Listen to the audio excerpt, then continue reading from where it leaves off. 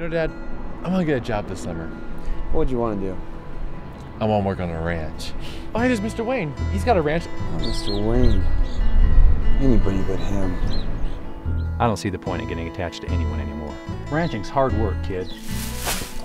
I don't mind. It's a blessing to do what you love.